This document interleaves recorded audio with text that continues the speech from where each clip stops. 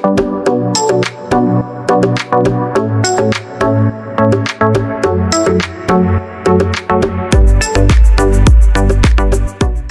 GP Mania jangan lupa subscribe dan hidupkan loncengnya. Untuk selalu mendapatkan informasi seputar MotoGP selanjutnya. Marquez mulai tebar ancaman, Pekcu dan kawan-kawan jadi ayam sayur di FP1 FP2 MotoGP Qatar 2024. Mark Marquez mulai menebar ancaman di MotoGP 2024 usai tampil mengesankan dalam latihan bebas atau free practice MotoGP Qatar 2024 di sirkuit Lusail, Jumat 8 Maret. Dalam sesi tersebut Mark Marquez menempati peringkat keempat sebagai pembalap tercepat dengan catatan waktu 1 menit 52,889 detik. Dan di FP2 dengan trek basah Mark Marquez menambahkan kebrutalannya sehingga para rider lain menyingkir sampai Marquez menjadi yang tercepat hingga sesi selesai. Posisi kedua hingga kelima dikuasai oleh rider KTM, yaitu P2 Augusto Fernandez, P3 Pedro Acosta, P4 Jack Miller dan P5 diduduki oleh Brad Binder. Meski demikian, hasil tersebut bisa jadi awal dari ancaman Mark Marquez kepada para pesaing di musim ini, terutama pembalap-pembalap yang jadi papan atas musim lalu. Menempati posisi pertama dengan motor baru dan adaptasi yang belum lama, Marquez layak disebut tampil luar biasa. Juara bertahan MotoGP yaitu Francesco Bagnaia dari tim pabrikan Ducati kini mulai mewaspadai Mark Marquez yang step by step mengalami peningkatan. Sebagaimana Pecco Banyaya masih terganggu dengan motor yang bermasalah di bagian ban. Dia mengaku kecewa dengan motor Desmosedici GP24 yang masih banyak kendala teknik. Berikut hasil lengkap free practice MotoGP Qatar 2024. 1. Mark Marquez 2. Augusto Fernandez 3. Pedro Acosta 4. Jack Miller 5. Brad Binder 6.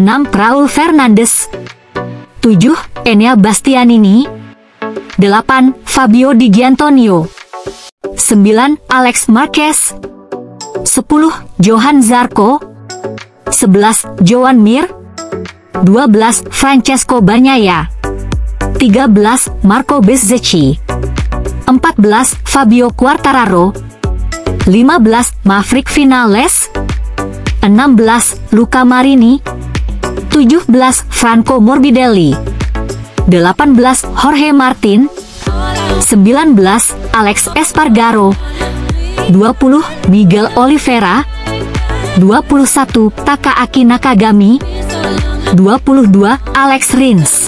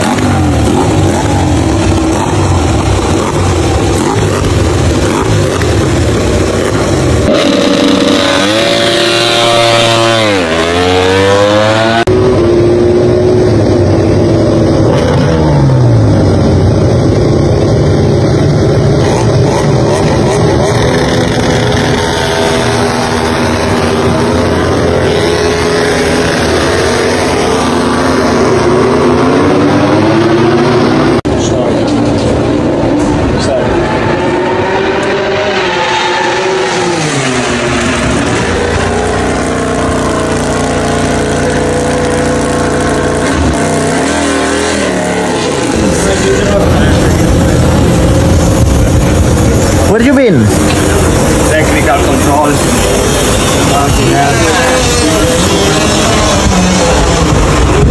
Oh! Fish! A big queue, ah. Oh, yeah. Dude, dang!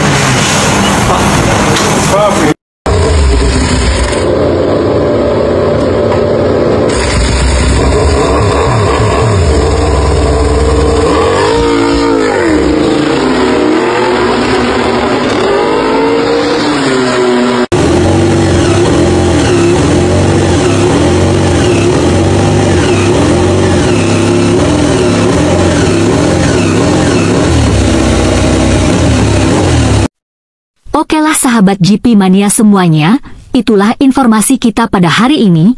Bagi teman-teman yang belum subscribe, jangan lupa subscribe dan tekan tombol loncengnya untuk selalu mendapatkan informasi terupdate seputar MotoGP. Terima kasih.